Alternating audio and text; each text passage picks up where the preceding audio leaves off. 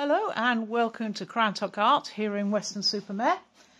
Uh, today we are going to have a go at making a giraffe. This is one of my ball giraffes. Here he is. So this one's been painted with slip, which is why he's got a pattern on him. He's also had a little bit of an accident with his feet, but I'm going to make sure the one we're going to make today isn't going to have that problem. When he's had his next firing, we'll put a clear glaze on him and he'll be a lot shinier. But for now, he's just patterned like that. So that's what we're going to make. Now, I have got a template for this, which you'll be able to find on my Etsy page. Before you use the template, I would advise you actually stick the pieces onto a piece of cardboard like that, and then cut round them, and then you'll have something that will last you a little longer than the, just the paper. It's not a particularly complicated template, but it will help you immensely if you've got all the pieces cut out right. So to start with, because it's a ball construction, oh, I should say before we start, let's actually let's see what tools we need.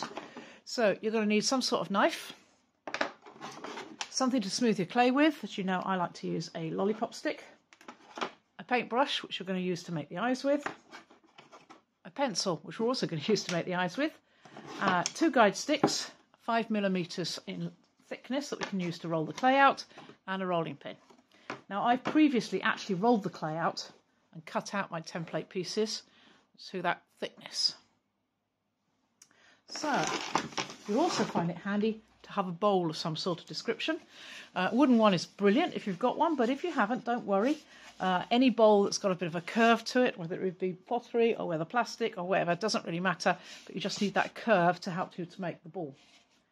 If you've watched any of my other ball animal videos, the first part of this is going to be exactly the same as them because I'm going to show you how to make a pinch pot ball. So we have a lump of clay here, it's 350 grams of clay. Um, it's just been taken straight out of the bag and so consequently there'll be holes and air pockets in it. If we try to fire this solid, it's going to explode. So we have to make it a little bit more usable. So get my knife, I'm going to cut it in half. This is not an exact science. If you don't go exactly in half, don't panic. And then to make the pinch pot ball, I'm going to take one of these lumps of clay. I put it into what my non-dominant hand. So as I'm right-handed, that's going to be my left. Get my right thumb, push it into the clay till I can feel it pushing against my left hand, but don't go right through. Keep my thumb still and move my fingers. So I'm going to do that action all the way around and draw the clay up. You don't want to pinch it as such at this point. It's more a case of stretching the clay out. If you pinch it too much, it's just going to flop out. We want nice compact balls. Having gone round once, keeping my firm, hand firmly clenched around it to keep it shape, I now go round it again. This time I'm feeling for where the clay's thick and where the clay's thin. Where it's thicker, I'm pitching it out a little bit. If it's thinner, if it's very thin, I'll push some clay over the top of it. Otherwise, we're going to get it more or less like that. So we get a little cup like that. You want it again about five millimeters thick. You can go a little thicker if you must, but don't go any thinner. And the reason for the pinching is if there's any air bubbles in here, we are going to take them out. Do the same with the other half. So thumb in, draw the clay all the way around. Like that. Right, and then go around it, pinching it, making it the same thickness everywhere. Again, if I find something that's really thick like that, I do the, the drawing up again. So thin it out that way so that we don't make it go wider. Any places where I can see cracks are forming, I just smooth them in as I go. Making sure here I've got it nice and even and there's, if there's any air trapped in the clay, I've squashed it out. So we've now got two cups like that. Then get our knife and you go round the top of each cup putting cross marks on it, which is called scoring. That, that one to there. Same to the other one.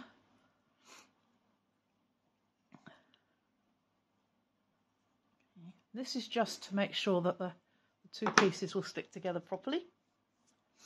Then I get some liquid clay here, which we call slip, which we use as a glue, and paint that round. Again, you might have noticed if you watched any of my other videos how there seems to be a difference in colour between the clay body we're using and the slip. And that is because we're switching between two different types of clay, but they're both the stoneware with the same shrinkage rate. So, and after firing, they're identical. You can't tell the difference. Now I've got to get these two together. So I look at my pieces and I think, oh, that goes in a bit, that comes up a bit. So if I put that there and that there, and you'll find it won't be an exact science. If it's a long way difference with the sizes, pull it, stretch it, make it fit. But you'll probably find you've got one or two holes in. Just coax the pieces together like that. So now we've got our potato. We need to turn that into something more stronger. So I get a piece of clay. I'm going to roll out the clay. Again, long rolls, not too much pressure to make a, a sausage or a worm or a coil that I can put round. Do that there. Do it again because it doesn't go quite the way around. So it doesn't matter if it doesn't go right the way round. To start with, just add more bits in. But the aim is where there's any holes like there, we cover them up. And we get our tool and we smooth it down onto the piece. So make notice that I'm going up onto one of the pots like that and down onto the other. Don't be tempted to just smooth it like that. You won't actually make it stick the two pieces together properly. I've got to spread it over them and this is going to create a nice tight seal. Once we finish doing this, we'll have a bubble of air trapped inside, which we can work against. If you find when you're doing this your piece starts to collapse, it may be that you've actually pinched it a little bit too thin. You might need to redo your pots. Also, don't be too hard on it because until it's sealed, you've not got anything to push against. Once it's sealed, we'll have a bubble of air that we can push, but we haven't at the moment. So I've gone all the way around, sealed it. So now, just with my fingers, I'm now just going to go over these joins, smooth it down a bit, make sure it's sealed. And now I can push against it because I've got that air trapped. If you find when you start to do this that it starts to collapse in your hand, look over it and see if you've got any cracks somewhere that's allowing the air to escape. So I haven't got it joined. Next thing to do now is to start to persuade it to be a bit more like a ball.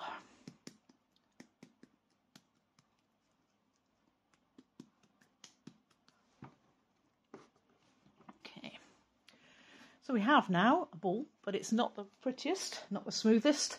So this is where the bowl comes in. So we put it in the bowl and you roll it around in the bowl. The bowl, a little bit of pressure, not too much. Don't squash it flat. But again, as I said, you've got that air in there, which will help to give you some resistance. And as you work, you can see it starts to smooth out and become rounder.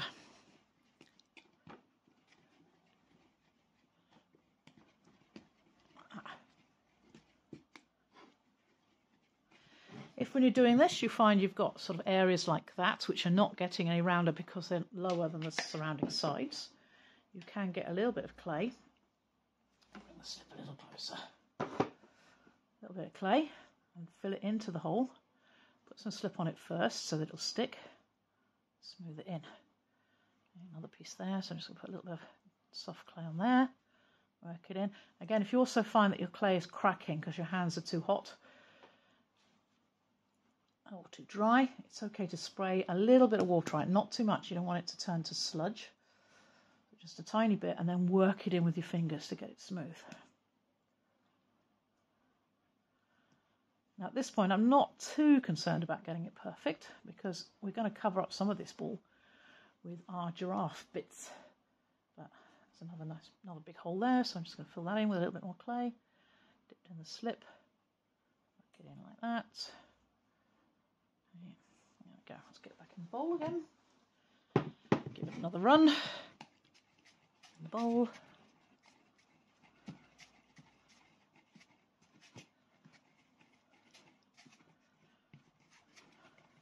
Okay. We now have our ball. I say it's not perfect, but I can always finish it off later on, smooth it off a little bit more. Next, I need to give him some feet. Now for this, I'm going to need uh, a template, which I can't put my fingers on at the moment. Because that's all good things, I've lost it. But uh, there is a template around somewhere, and what we need to do with it is use it to get this the right width. So this is 70 grams of clay.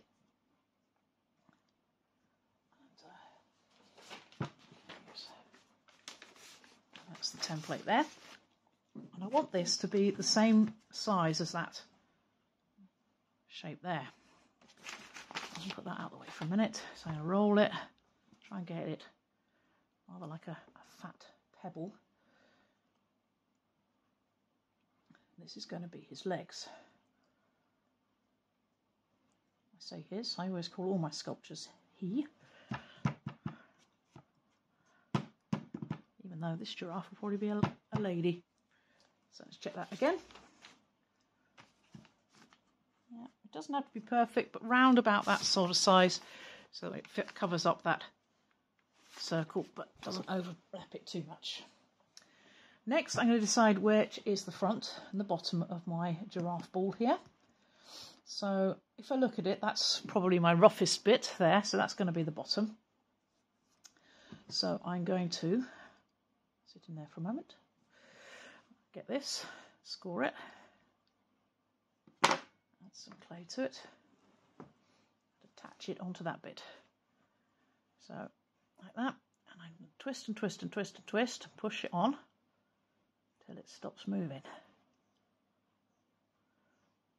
which point, there we go, see it starts to slow down. The clay is now bound together. But to make sure that's not going to go anywhere, I'm also going to put a coil of clay around it.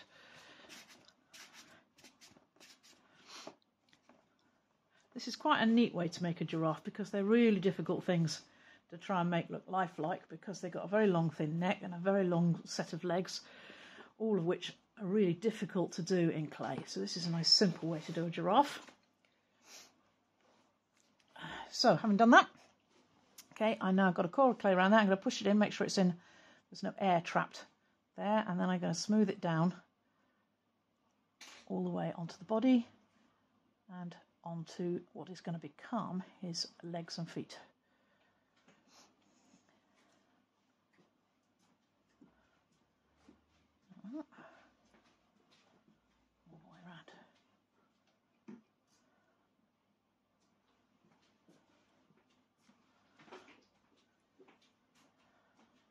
Will make sure they stay put.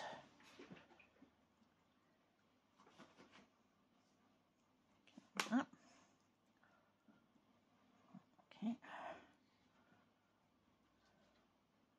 Smooth it down a bit. Okay. Now, before I go any further, I need to work out where the front of this giraffe is going to be and where the back of the giraffe is going to be. Um, I also want to make sure the ball is pretty much centrally over that point. So I'm going to bat it a little bit. So let's have a look. See, I think, I think, I think, I think that. I think that's going to be the front. So I'm going to put a little cross to indicate where I'm going to mount the head. Come on, stand up straight. A, there we go. So that's where the head's going to go. And I need to know that so I can know where to put his feet. So directly down from where the head's going to go, I'm going to put a, a mark in the front of that like that. Then I'm going to cut all the way through that clay down to the body like and then do the same there trying to make sure that I've got these as even as I can. So I've now got four pieces of clay and these are going to be his legs. Now if you want if you like it being really neat you can leave it like that so that's absolutely fine. I am going to shape mine a little bit though so I'm just going to get my fingers in there round them off a little bit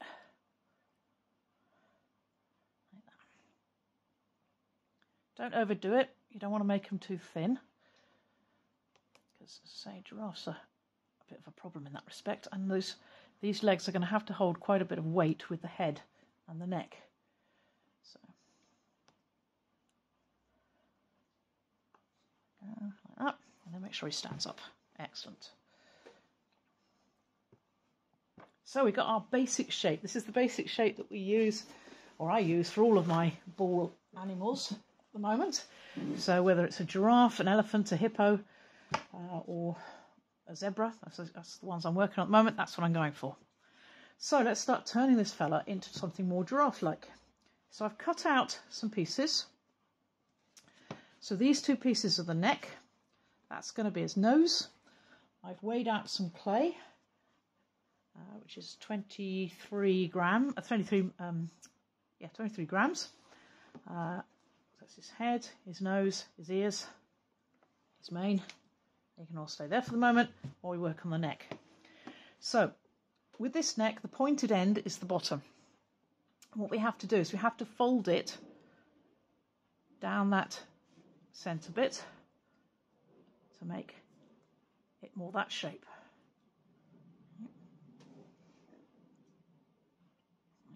So we get a V.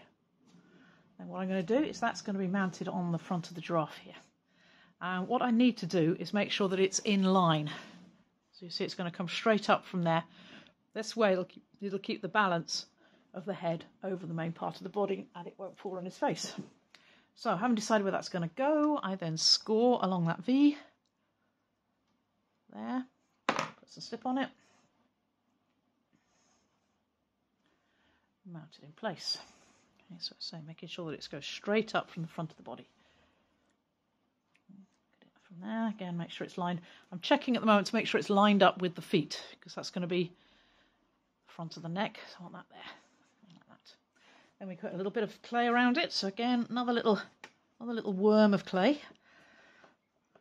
Nice and thin. Got there.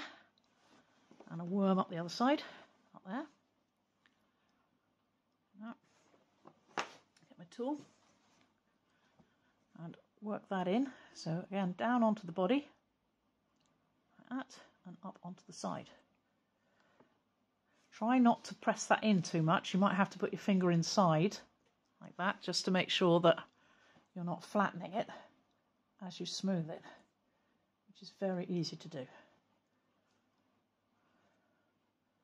Get in like that.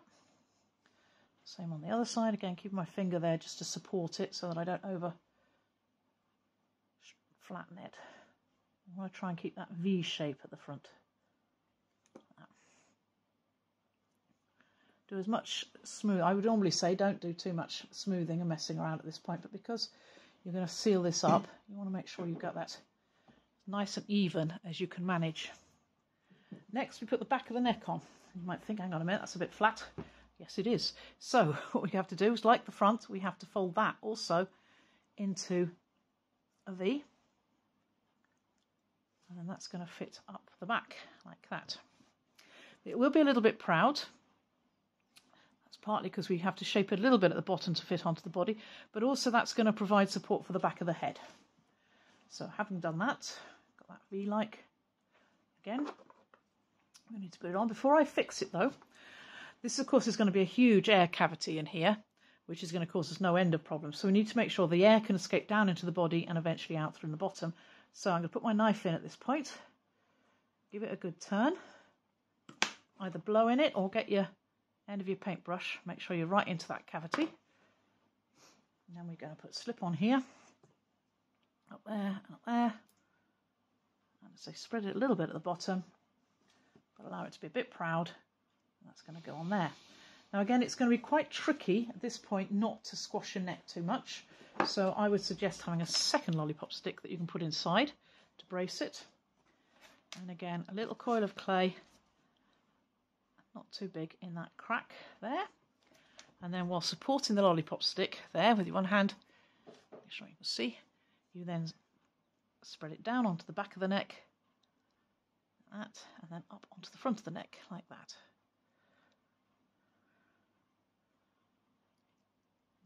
Smooth that out. So that's one side. Let's do the same on the other side. Another little coil of clay to go into that crack there. Might put a little bit of slip on this because it's getting a tiny bit dry. And then again supporting that so that it doesn't get pushed in. Smooth it down onto both sides. That. push that back out again. So, so try and maintain that neck shape if you can It's very easy, and in fact it happened on the one I made there, for that to collapse. So we have our giraffe's neck. Now to put the head on. So we get this lump of clay, 23 gra uh, grams of clay. That's going to go on there, but it is going to need to be a little bit bigger than that before it goes on. So what I'm going to do with this is I am going to get the end of my paintbrush into it. It's too sod, too big a lump. It's only just, but too big a lump by itself to actually be fired. So I get that in, and then I'm just going to use the paintbrush just to make that lump a little bit bigger, just by wiggling it around inside, like that. It's just thinning out the clay, as, like that, as well as giving us an opening, which will allow it to dry better. And again, I'm going to get my bowl. I'm just going to roll it around in the bowl a bit, make it round again. So that will attach to there. So put some slip on the neck, making sure that you put the hole at the bottom so the air can escape into the neck of the giraffe. We now tuck it all together. So a little bit of stretching and shaping to get the head in place there. Then we've got to make it stick. So another coil of clay is going to be required. Sorry, just kicked the camera. Apologies. So I get some little bit of clay under there. We're going to smooth that in. That there, smooth that in down there. Okay. Smooth the back of the neck up onto the head. And back there, that's it. Okay, just a little bit of shaping.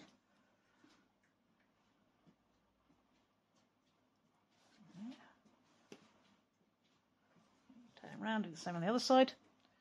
A little bit of clay in there. Like that. Oh, clean my tool. Get in there. That and that. There we go.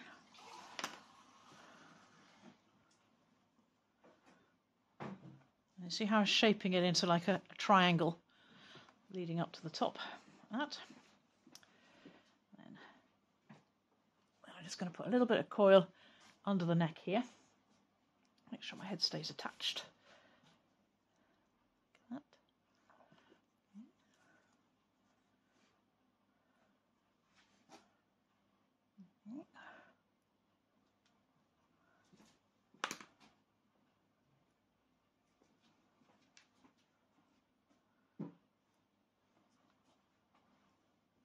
okay. Next thing to do is give him a nose. So hang on he's tilting to one side. Let's just persuade him to stand up straight. It's better. Okay. I'm just shaping that in a little bit. Make sure that's a nice, nice triangular line there. So this is his nose. So we're going to fold this in half. I'm going to put some slip up the inside of that. I'm going to try anyway. Let's get a little bit there. And then I'm going to push that together so again, be careful not to trap any air in it. Push it together to make like a little round shape like that. Now one end is very slightly bigger than the other. That's the end that's going to go onto his head. Uh, so I now need to decide at this point what I want to pose I want him to have. And I'm thinking this one, I'm going to have him looking a little bit over his shoulder. So having decided that, I get my knife, I score the thick end of this lump of clay, put a slip on it, put it onto the head and we screw it again till it stops moving. Get my tool again. Now you notice this particular lollipop stick I'm using here, I have actually cut the ends to make a, a point which allows you to get into small areas. Just did that with a pair of scissors, nothing special, and then filed it off. If you've got sandpaper, great. If not, an emery board works just as well to make a little sand, a little bit of sanding. So it's just I'm just putting a tiny little bit of clay in there to merge it down onto his nose or her nose. Like that just smooth out the end a bit. Then again, underneath, I'm going to use the pointed end of this just to smooth that clay in.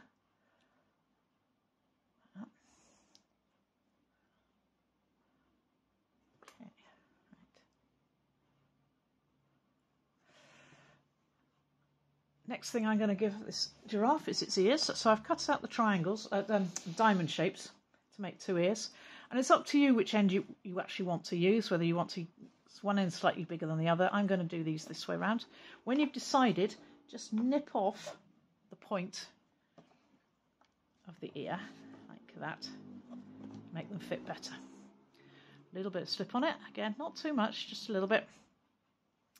I'm not going to worry about scoring these, they're so small it's not going to make any difference. You put them on so they're either side of the head.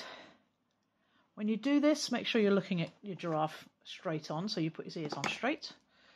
So regardless of where the body is, make sure the head's looking at you. It will look a little bit pig-like at this point, don't panic. It'll all come right in the end. Then round the back, I am going to put, again, a tiny little bit of clay in. Just a little sliver of clay at the back of the ear there. I'm going to use my pointy tool here, again, to just work that in to the head and up onto the ear.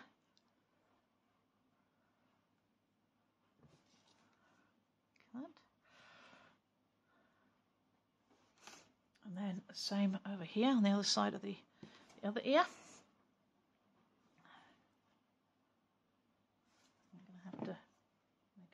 Modification here because it's not designed to be looking over his shoulder, I can see. that Because his neck's not straight. Let's put your head round a little bit more like that. As we go. There we are, that's better. Okay.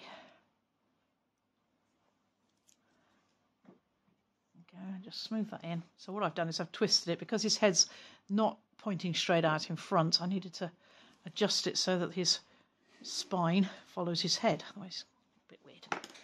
Okay, so we fix that on. Turn it round, do the same at the front. Just get your, I'm going to get the rounded end and I'm just going to smooth some of that clay out of the ear. This, this allows us to give the ear a little bit of a, more of a ear-like effect. And then just get my thumb in there, just tidy it up a bit. Same there. Smooth it in like that, there we go.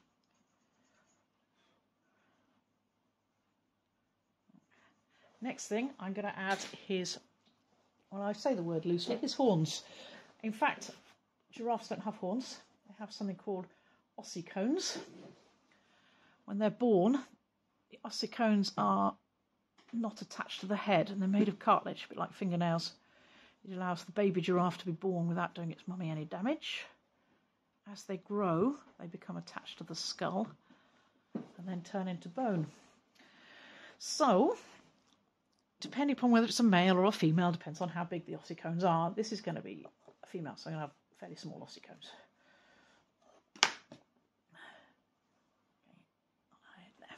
Right. So then again, dip it in the slip. Put one just above the ear there. Again, wiggle it and wiggle it, wiggle it. So It stops moving. Same on the other side. There. Wiggle and wiggle and wiggle stops moving. Okay, just going to turn around now. Again, use this. I'm just going to smooth it in at the back. Make sure I'm not going to go anywhere. That, and then smooth them in at the front after I've done that. Let's nip them in. Because I've done that twisting motion, that will stop them from falling off anyway. This is just tidying them up, making sure they really are not going to go anywhere. So turn around. Sure they're smoothed in at the front a bit. And tidy. Okay, that. Right. Next thing this little lady needs is some eyes. So I'm going to get my paintbrush here. So reasonably thick end on it. Um, this is a fairly sort of standard paintbrush. Uh, and what I'm going to do is in line with the snout, between the snout and the ears, I'll put just a little marker there and a little marker there. Now, again, these are not accurately depictions of giraffes, so if you actually look at a giraffe face, it's not quite like these, but we're going for a sort of comedic effect rather than accurate. So having worked out where my eyes are going to go, I'm going to make another make a hole there and a hole there. Before you make your holes, it's always a good idea to make sure you're looking straight at your giraffe so you've got your eyes at the same level. You want them the same level that way, but also look down on it from above and make sure you've got the same you've got them the same distance there as well. So that's fine. I'm going to make those slightly bigger. So I'm just going to put my paintbrush in, wiggle them around a bit, make them a little bit bigger, not too much. So I have to go back to that one. Like that. Now I'm going to add some eyes. what I do with the eyes is again I start with a little bit of clay roll it into a ball, See whether it's about sort of the right size. That's a little bit big, so I'm going to cut that down again. Roll it. I'm actually going to make two eyeballs out of this. I like to make things in pairs. That way you end up with things being more or less the same size. So, yeah. so I make it so it looks like it would fit in and then cut it in half. Up as best as you can. Roll it in my hand. Now, before I go any further, my hands are pretty dusty, so I'm going to put a bit of water on them and then I'm going to dry them because I want clean hands for this so that when I roll it, I'm not picking up any other clay dust. You want your eyeballs to be nice and smooth. You don't really want them with bits of dust attached to them. Roll like that. So we should have two about the same size. So mm, I feel that one is actually very slightly larger than the other, but only by a tiny bit. But I'm going to nip a bit off it. Like that. Try not to lose the other eyeball. Okay. Right, so yeah, they feel about right. So I'll check them, make sure they're smooth and I'm happy with them. Then there's a bit here that's cracked, so I'm going to put that at the back. I'm going to put a dab of, a dab of slip on it and drop the eyeball into the socket like that. And do the same on the other side. That's going to go in there. Okay, drop that into the socket like that. And I'm going to use the end of the pencil at this point to actually give him some pupils on his eyes. And at the moment, the ones I'm making, I'm going for the look of being completely confused. So I'm actually going to give him slightly cross-eyed eyes. I'm going to put one hole in there, up, and one hole in there, like that. So we have a very confused looking giraffe, which I'm not surprised considering how fat he is. She is. Okay. Next, we're going to do her nose. Their noses are just basically just like that. In fact where I put the two, where I folded in half, I've still got a little bit of a line there, but that's okay. I can use that to make give them a smile if I want to. So I'm going to give it a smile up there, like that. Let's just deepen that. I say, these can be as facky, funky or as weird as you like. Let's try and make her smile the same on the other side now, though. There we go, a very happy looking giraffe. Next, I checked her over, made sure her feet are still intact. Because, of course, we've been putting weight on these, so I need to check that the, the joins are still good. They're not too creased up. You can see where they've gone out of shape a little bit with the weight. But she is now going to need tail. Most African animals seem to have a tail that's ended with a very stiff brush on it to deal with the biting flies. So, give her a tail like that. Put some slip on it. So there's no template for the tail. It's just a just a coil of clay stuck on, and then a little bit of clay over the top of the, the base, just to make sure it stays put. Again, paint some slip on that. Oh dear, the sun's come out. Suddenly we can't see properly because we're backlit. Okay, so hopefully you can still see enough to see what's going on.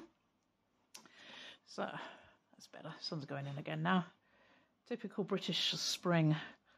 One minute the sun's shining, the next minute it's chucking it down with rain. At the moment, there we go. See what we're doing again now. So fix that on there.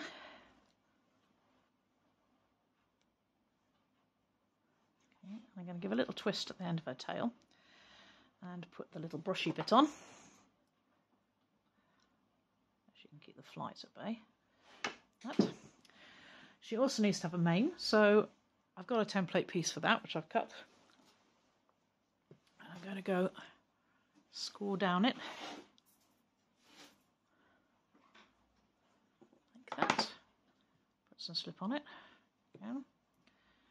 So thickest bit's going to go at the bottom, thinnest bit at the top. It's going to go on the back of the neck like that, following the neck round. And then again, get your tool, work that onto the neck. Like that. Okay. On both sides. Make sure it's on properly. interestingly, probably useless facts that a lot of you know, that actually giraffes have exactly the same number of bones in their neck as we do. They're just very much bigger. Okay, then we're going to make it more mane-like. So I'm going to just run my knife along it, rough it up a little bit, make it look a little bit more like fur. On that side, turn it over, do the same on the other side.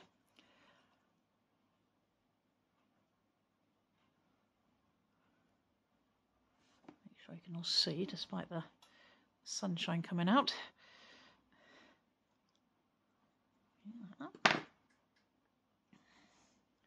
And now we come down to the, the smoothing and tidying and all the rest of it that we feel we need to do. If you find that you're struggling to get things smooth, don't forget to wash your fingers and then dry them. So you have some clean fingers, and you'll find that makes life so much easier when it comes to smoothing things out.